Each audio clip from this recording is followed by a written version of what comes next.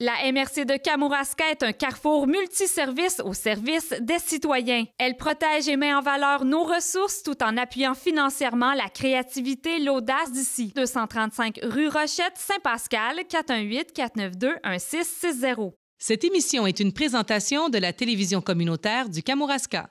Dans la première partie de la haute gastronomie de plaisir d'été au Kamouraska spécial au pays, moi et Kathleen Saint-Jean, on est allé visiter la miellerie Le Miosétis à Saint-Alexandre de Kamouraska et on a profité de notre passage pour déguster de la viande d'alpaga.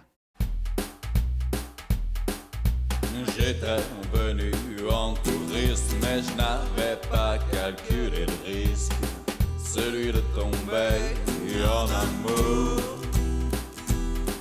Oh, Kamour, amour, amour, Kamouraska. Oh, Kamour, amour, amour, Kamouraska. Alors, Anne-Christine, avant de poursuivre notre pé- périple dans le haut pays du Kamouraska, on- je vais te parler de l'épicerie Charrette Sainte-Hélène.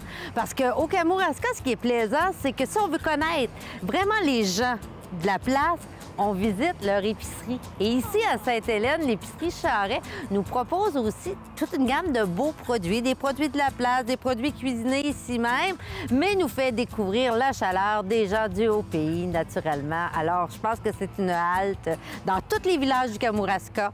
On arrête à l'épicerie. Parfait. Et en plus, là, qu'est-ce que je peux dire, c'est que j'adore le nom Épicerie Charret. Ça sonne, euh, hein? Winner. C'est hot. C'est hot. On aime. C'est- On aime. c'est Charret. clair. C'est- c'est c'est que du bon.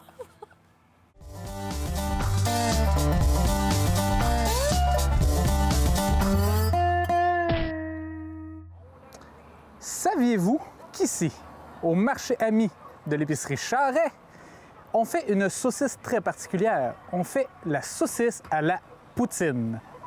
Je vous donnerai pas tous ces ingrédients secrets qu'il y a dedans, mais c'est une véritable fureur en 2016. Gageons qu'en 2017, elle reviendra. Vous essayerez ça. La saucisse poutine. Bonne journée.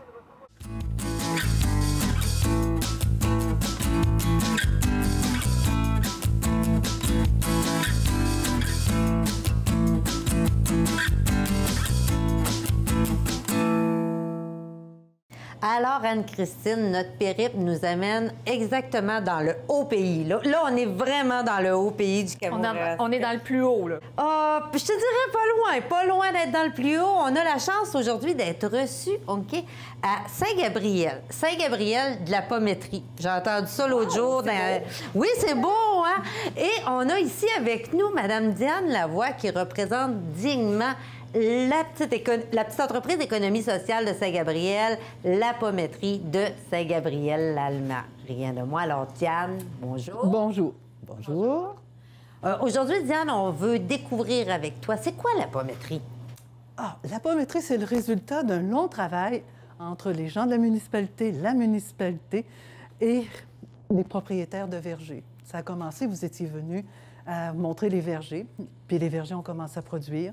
Et c'est cette année qu'on a installé la place où on produit nos gelées et autres, euh, et autres confitures.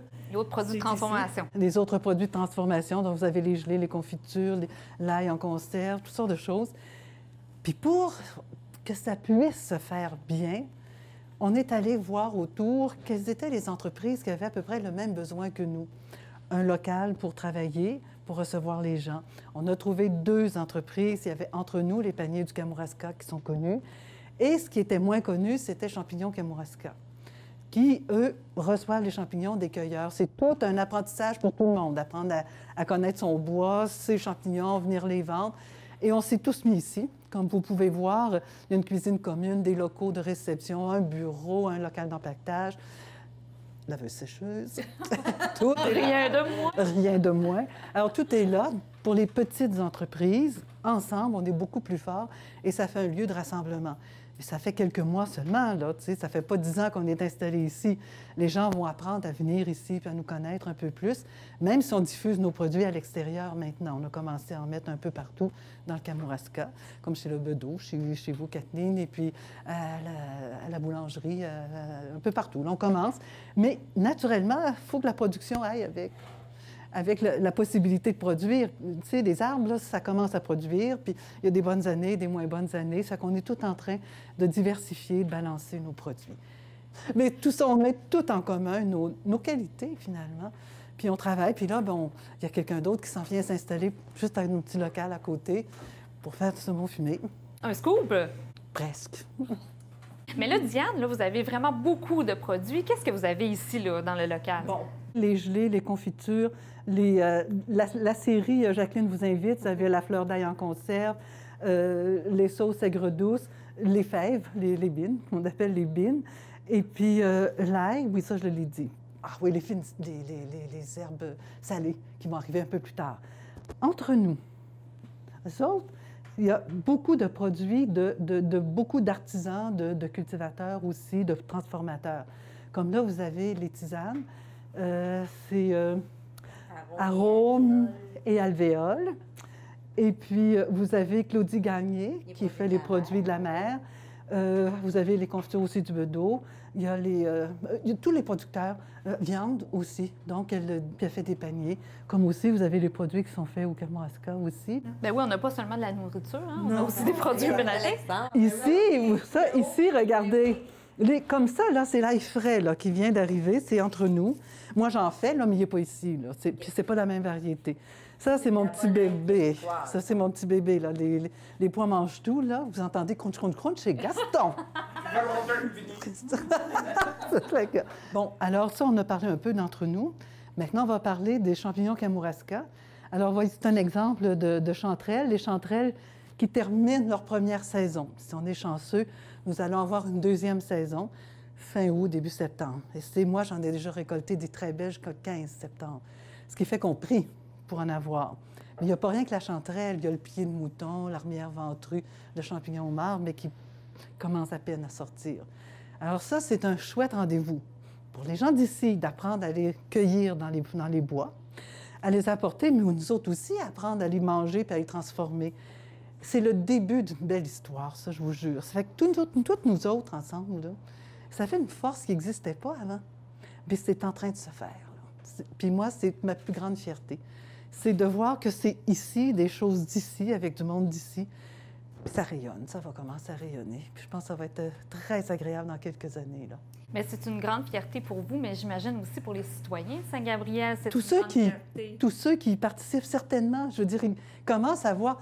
Entre, il n'y a pas longtemps, c'était presque impossible à penser qu'on allait faire quelque chose comme ça à Saint-Gabriel, Kathleen, tu le sais, on avait déjà parlé. Mais maintenant, on sait que ça se peut. Puis les, cueilleurs, un des meilleurs cueilleurs viennent de Saint-Gabriel. Je veux dire, euh, Danny Milliard, euh, Pierre Lavoie, euh, Bertin, quand ils vont, là, ils partent à la chasse, eux autres, hein, puis ils rapportent leur gibier. Maintenant, c'est les champignons avec grande fierté. Ce qui fait que ce sont d'excellents cueilleurs, puis ça va se développer, puis ils vont en amener d'autres aussi à connaître ça. Moi, j'adore ça. Mais une petite question, les champignons, est-ce qu'ils sont transformés ici? Il y a- Julie, d'entre nous, va faire une transformation avec certains invendus. C'est-à-dire qu'elle va les, les faire, les, les poêler, mettons, là, puis elle va les mettre en sac sous vide, puis elle va les congeler. Donc, il y aura comme un- une première transformation qui va se faire ici. Mais comme je vous dis, c'est- on est aussi à l'état de test hein, pour euh, les formats, les assaisonnements. Donc, mais ça va commencer à se faire ici. C'est déjà commencé. Là. Parce qu'il y a quand même une demande de plus en plus grande au niveau du champignon, champignon transformé, champignon séché. Et si on peut développer un produit du champignon du Kamouraska, c'est c'est- c'est très, très bon pour notre image. Là. Un petit quart de livre de champignons transformés, poêlés, là, c'est beaucoup de champignons qui deviennent comme ça. Puis si tu les assaisonnes, mettons avec de la fleur d'ail, un peu de sel, un peu de poivre, c'est très facile à faire réchauffer, mettre un peu de crème, mettre ça à côté de ton steak là, ou mettre ça sur tes pâtes. Et tu peux les prendre aussi faire des pizzas. Parce qu'ils font pizza mag. D'ailleurs, ils en font une pizza à la, à chanterelle. Donc, il y a un avenir là, qui est certain. C'est notre nouveauté. Puis votre rêve, là, jusqu'où vous voulez aller avec euh, cette boutique Pommeterie Saint-Gabriel? Ça serait quoi votre rêve? Le? Japon. Le Japon! Que Saint-Gabriel devienne la capitale de la pommette. Non, c'est que, oui, ben, c'est c'est- une blague, mais c'est évident que nous autres, on va passer dans une étape production, puis après ça, développement. Puis si on arrive à faire un bon développement, c'est ici que ça va se passer. Là. Comme disait euh, mon mentor Guy Langlais à l'époque euh, de ITA, quand on partait le projet, Là, il faut que vous vous mettiez dans la tête quelque chose. Si vous plantez des vergers, faites votre transformation et vendez votre transformation parce que si vous ne le faites pas, c'est quelqu'un d'autre qui va le faire ailleurs. Donc, c'est à nous autres de le faire. C'est à nous autres de nous prendre en main puis de développer. Évidemment, vous savez que les subventions, ça ne pleut pas de ce temps-là pour le développement. Donc, on y va tranquillement, puis on va y arriver, avoir de l'aide aussi pour aller un petit peu plus loin. J'y crois par- parfaitement. Bien, belle continuité. Merci, Merci beaucoup. Diane. Puis euh, à la prochaine. À la prochaine. Merci, Diane.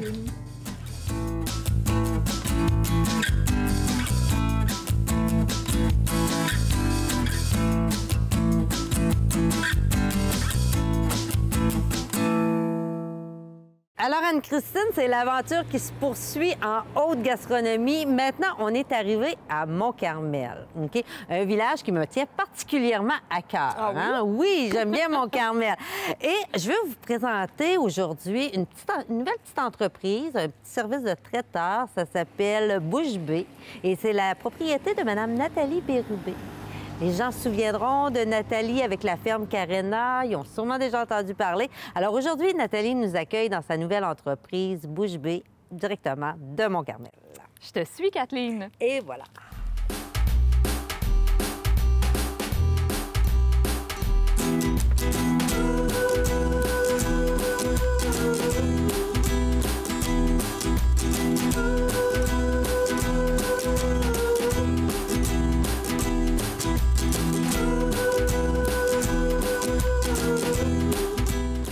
Anne-Christine, on a le bonheur là, présentement pour notre émission sur la haute gastronomie d'être en compagnie de Nathalie Bérubé. Nathalie Bérubé de chez Bouche B. Bonjour. Bonjour. Bonjour Nathalie. Pourquoi Bouche B? Euh, un petit peu pour Bérubé. Euh, Nathalie Bérubé, Bouche B, euh, je me suis dit que les gens un peu malcommodes euh, se plairaient à dire Bouche Bérubé. un peu euh, ben, parce que euh, on aimerait qu'une fois que les gens aient goûté à ce qu'on fait, euh, qu'il reste Bouche B aussi. Je voulais quelque chose de court qui sonnait. Mais Ça là, me tu, tu dis, on voudrait que les gens qui aient goûté à ce qu'on fait. Mais qu'est-ce que vous faites exactement à Bouche B? tellement de choses trop longues à énumérer. On fait, en fait, euh, de la transformation alimentaire. Euh, ça commence par un- premièrement par un service de traiteur, où est-ce que les gens peuvent euh, faire livrer des plats autant chauds que froids, des buffets pour des petits nombres de personnes ou des plus grands nombres.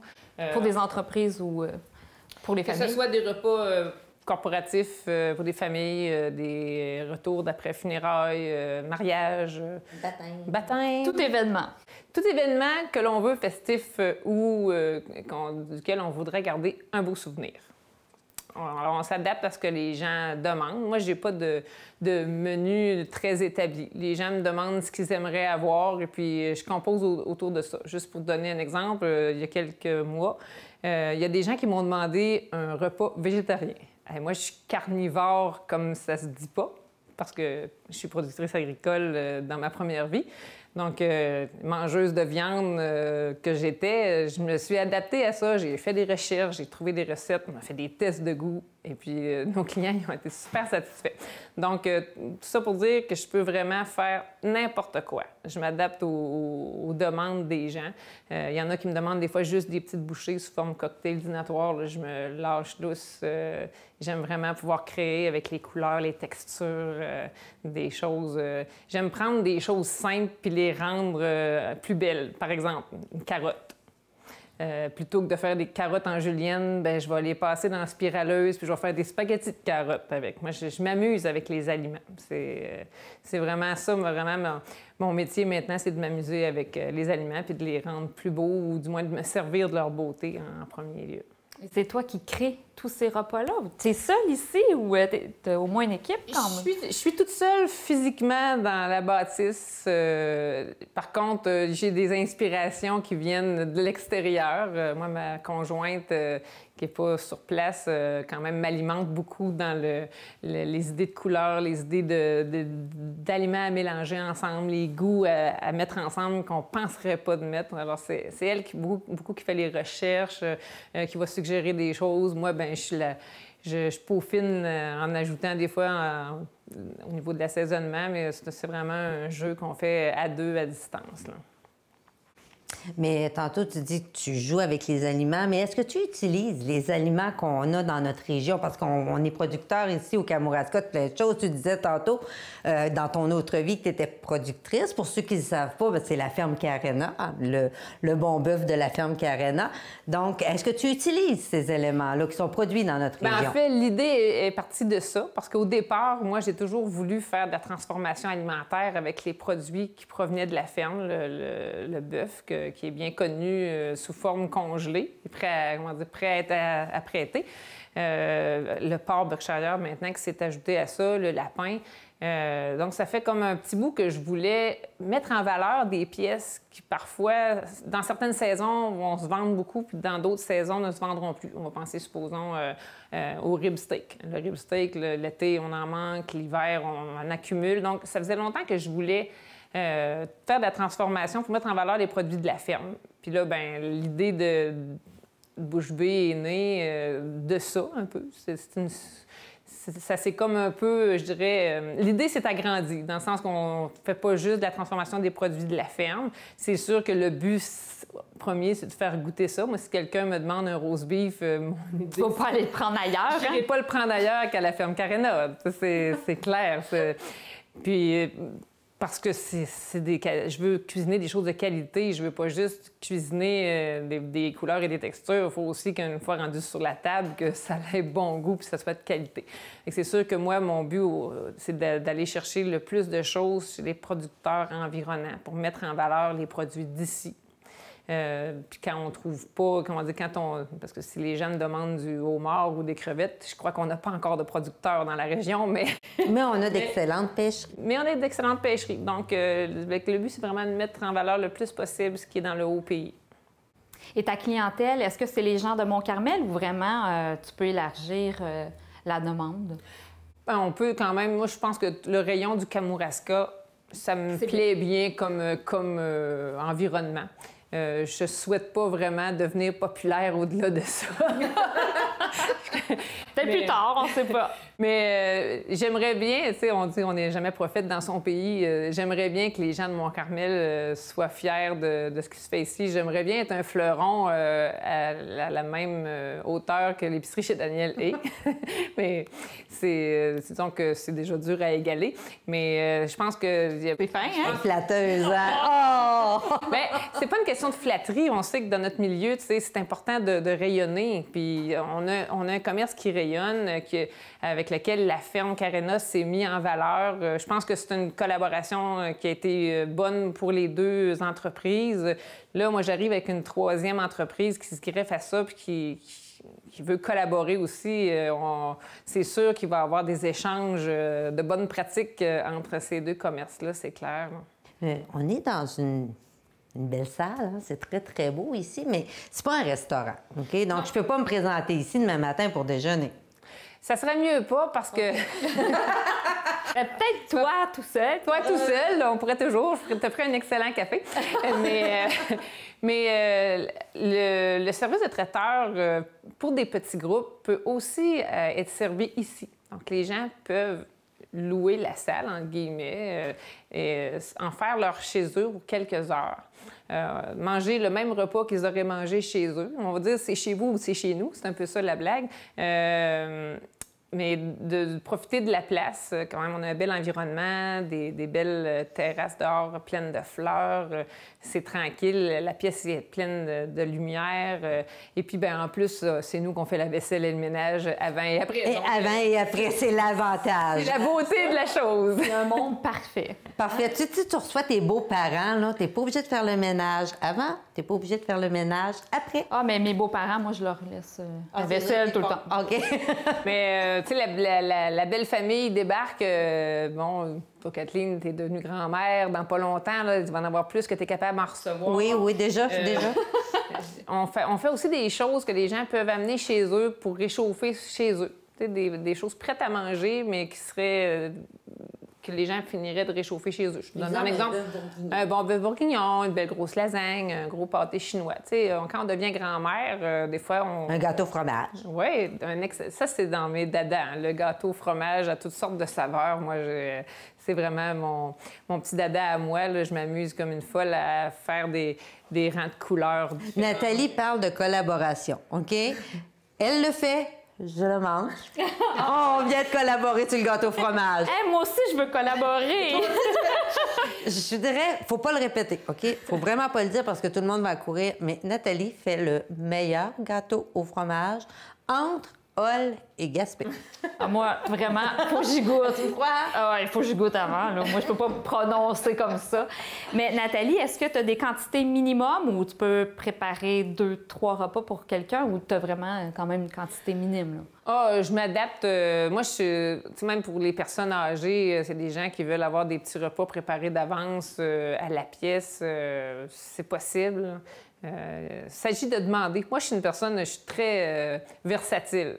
J'ai fait toutes sortes de métiers. Je- suis encore agricultrice, mais même dans l'agriculture, j'ai fait plusieurs choses. Puis, euh, je suis devenue cuisinière dans une résidence pour personnes âgées. Euh, moi qui avais toujours fait juste de la cuisine euh, à la maison.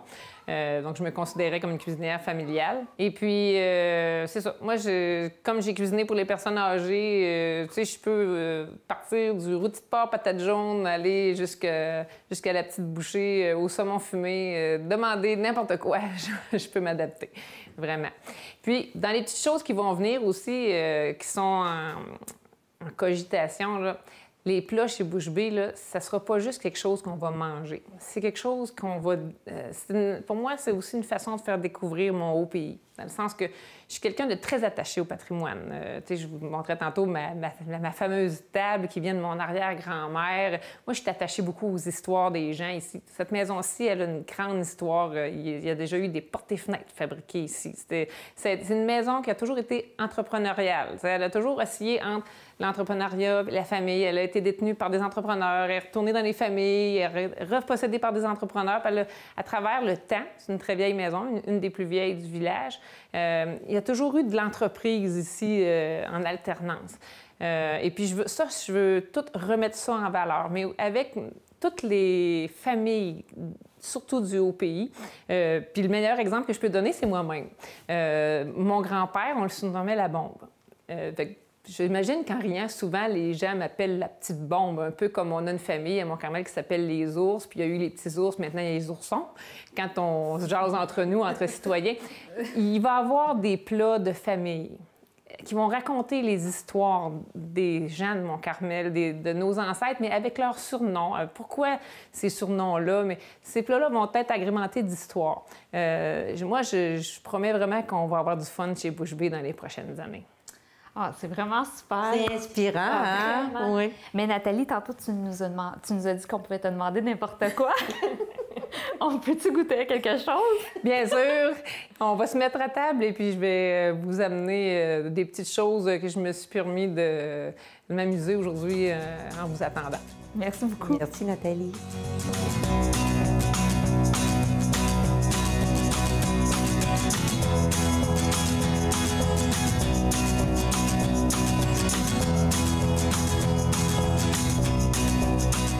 Ça a l'air vraiment très bon. On voit dans tes yeux que tu as hâte. hein? Mais je vais quand même t'expliquer avant un petit peu qu'est-ce que c'est, parce que moi, j'ai- j'aime beaucoup les choses euh, vraies. Euh, j'aime les choses qui ont du goût aussi, beaucoup. Euh, je t'avais dit tantôt que j'aimais jouer avec les couleurs, donc je me suis permis de faire des, des petites spirales euh, pour vous montrer un petit peu ce que, comment je décore. Alors, euh, on va pouvoir déguster. euh, J'ai fait une je ne dirais pas, voyons. Une salsa ici, une salsa maison avec des tostitos maison. Euh, une petite assiette euh, de melon. Euh, ici, j'ai une salsa d'avocat et crevettes. Et juste ici, euh, c'est un petit plat de une petite salade de, de concombre assaisonnée aux crevettes aussi. Des roulades de saumon fumé. Ça, c'est un de mes incontournables. Quand je sors avec ça dans les dégustations, je me fais dévaliser. Et puis, ben, mes incontournables biscuits. Euh, Aujourd'hui, on a aux noix de macadam, euh, mais euh, j'en fais à peu près toutes les saveurs existantes euh, sur la planète. Ce qui est le fun avec la nourriture, là, c'est que que ça goûte bon puis que ça soit beau, ça coûte pas plus cher.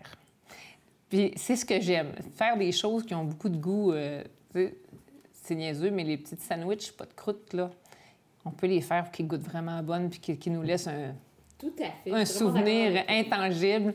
Euh, avec même si euh, c'est un petit repas de sandwich, euh, ça peut être euh, de grand goût. Euh, mais moi, c'est vraiment mon, mon dada là, que de faire en sorte que les choses euh, aient bien du panache. Et il faut que, autant que possible qu'elles soient le plus maison possible. Euh, donc, euh, si vous voulez euh, vous lâcher lousse dans les plats, euh, Ah, mais ça, c'est vraiment bon, hein? Au lancement de la saison touristique. Gin? Hey, hey, on est vraiment gâtés. Ben, bienvenue chez Bouche Bée.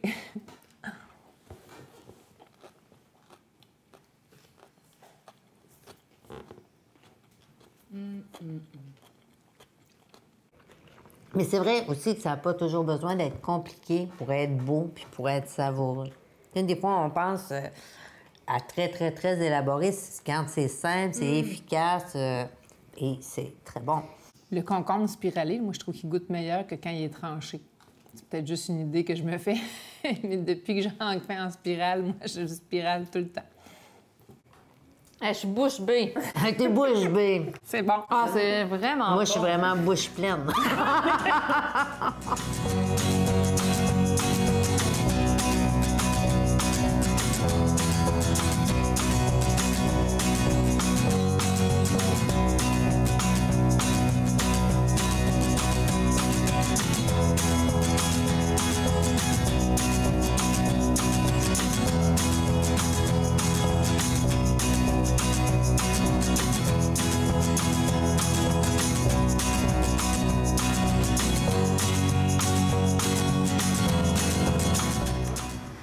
Kathleen, c'est la, fin de notre superbe journée. Merci beaucoup. J'ai vraiment passé une journée agréable. C'était super. Et on finit en beauté. On peut pas passer à côté de l'épicerie chez Daniel, où tu mets les produits en valeur d'une si belle façon. Donc, euh, merci pour la belle journée. Ben, merci à toi, Anne-Christine. Ça fut très, très agréable de participer à ce bel événement avec toi. Alors, votre journée, vous avez du fun? Magnifique, Alexandre, Vraiment. magnifique. On a été reçus comme des reines. Avec en plus Kathleen. Merci. Euh, épicerie chez Daniel, Kathleen, le temps que vous donnez au Parc du Haut-Pays, vous collaborez beaucoup avec nous. C'est très apprécié, puis je suis sûr que vous avez eu une belle journée à travers le Haut-Pays. Oui, tu vas le voir euh, Ah, un petit peu plus tard. super! Merci. Allez! J'étais venu en tourisme, mais je n'avais pas calculé le risque. Celui de tomber en amour. Oh, Camour, amour, Camour, Camourasca. Oh, amour, Camour, amour, Camourasca. Et le papa, papa, Cette émission était une présentation de la télévision communautaire du Kamouraska.